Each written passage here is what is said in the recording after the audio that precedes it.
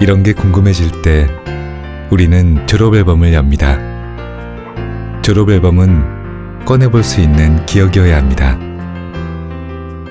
그 아이들의 눈이 보이지 않는다 할지라도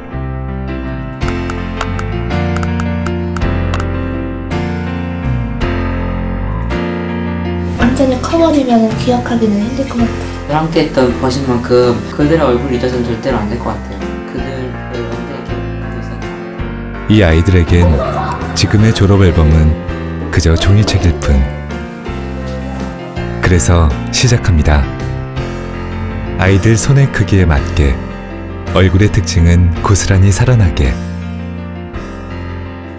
그렇게 만들어진 손으로 보는 졸업 앨범. 몇 cm예요 이거? 10월 31일. 이거 뭐예요? 어 진짜 선명하다. 아 지지 마, 까이지 마. 이거보다 코가 작네. 이제 아이들은 친구의 얼굴을 기억할 수 있습니다.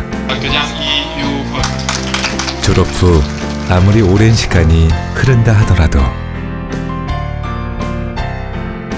누군가에게 필요한 것이라면 대신 꼭 해내주는 것. 그것이 기술이 해야 할 일 아닐까요? Printing a Better World 3D 텍